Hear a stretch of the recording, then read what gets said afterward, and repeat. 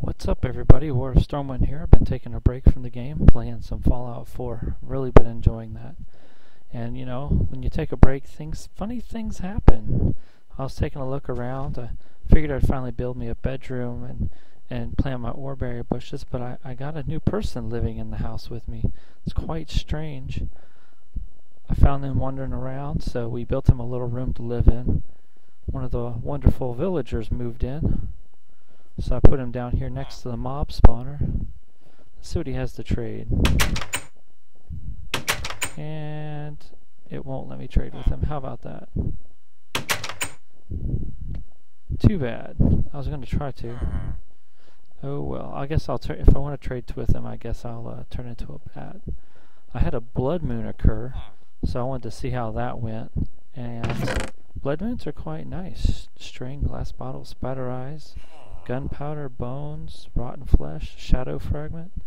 I gotta figure out what to do with some of this. Ender pearls, ender tear, rare drop from an enderman. Interesting. I'll leave all that there. There's a. We'll have to go up there and look. There's a mob spawner up there above that, and by having the villager down here, now all the zombies will run towards the uh, the hole and fall down and die faster. The uh, Abyssal Craft zombies make some very funny sounds. So as you know, I, I went caving. I found a lot of uh, oreberry bushes while I was doing my last uh, about five caving episodes. So I came down here and built me an oreberry room. Now, as you know, the oreberries they have to uh, they have to grow in the dark. So I built a dark room here. Got all the half slabs in so nothing can spawn and I put the the oak slabs on top so that uh, I don't accidentally get pricked by the bushes. So go ahead and collect all this up. I know I can uh, gather my materials the normal way. This is actually a very slow process but this is one one of the things that's available to us from Tinker's Construct and I'm not going to pass up free resources if they're being made available to me, so go ahead and get all this. Get me some more gold. I use the uh, red alloy wire, makes this super easy. Um, sticky pistons in the roof, sticky pistons in the floor, and I use some uh, micro blocks to put these side half slabs in. That way monsters can't spawn there. Close that back up. Put these away. At some point I'll sit down and uh, turn all that into uh, ingots. Not too worried about it right now.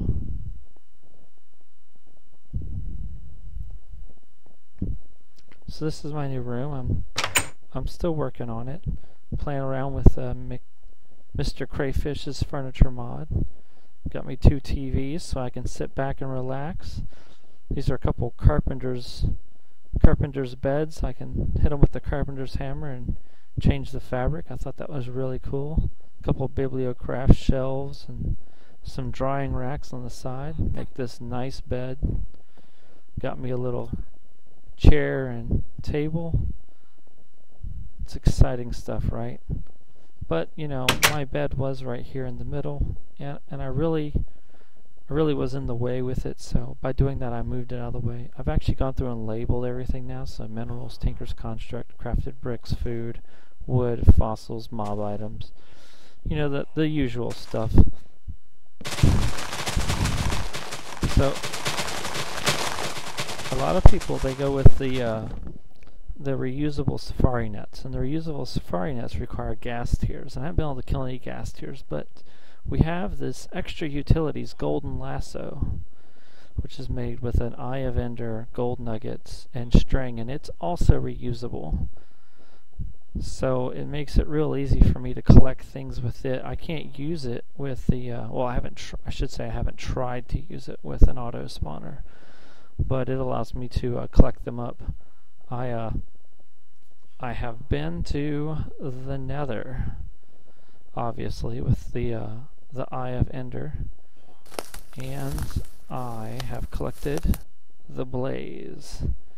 Now, I have to say that the bat is really awesome for the overworld, but when you're traveling in the nether, the blaze is the way to go. You get a little bit of this this smoke pixelations, but if you stay moving, it's not really an issue.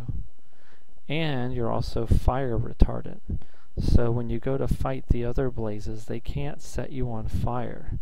Makes it real easy to go around and farm some blazes. So I, I went around, took some out, did a little exploring, found a blaze spawner. So I'm probably going to do something with that, that. I just haven't figured it out yet. But I just I just like, you know, as long as you keep moving, it's not really an issue. Uh, by the way, I did finish up that uh, that mining I was doing, going around and caving. Let's go back into normal form here. Stay away from that uh, tree farm down there. It makes a ton of noise.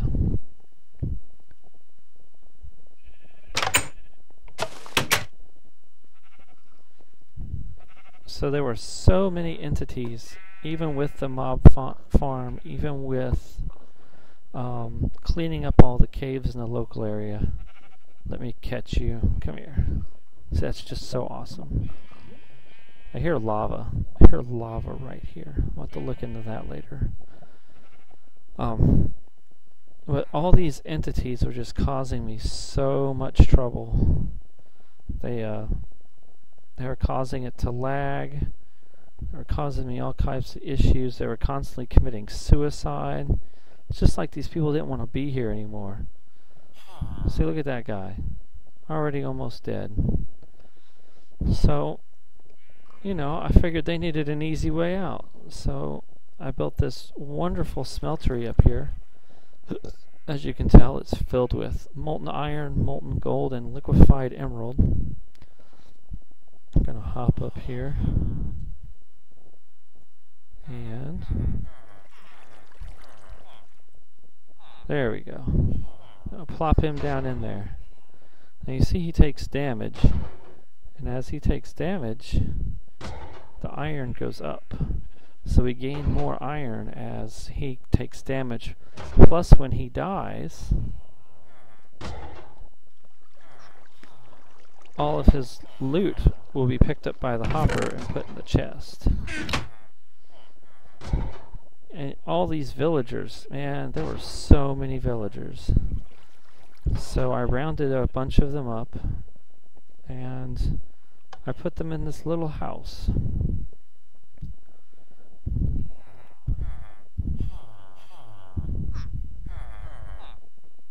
You see those monsters on the on the map there. That's actually where the monster spawner is.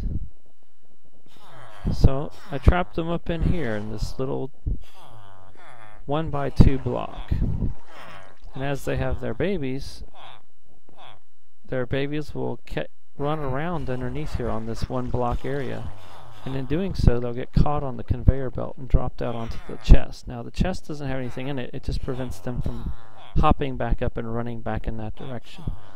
And when they become adults, it pushes them up and then sends them out to the smeltery. Every time a villager takes damage to the smeltery, he generates emerald. And so, with so many, see, like they they love each other right now as it is. They'll make more babies, and then those babies will uh, float on up. I've been rounding up most of the villagers. I still have a couple that are running around, but they're not causing me any trouble right now. Not like they were. Oh my goodness, they were causing me trouble. So I want to show you, you know, you get all this emerald in here. You're like, well, what am I going to do with all this emerald?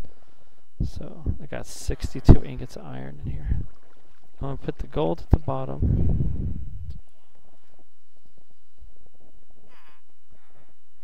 I'll plop this emerald down.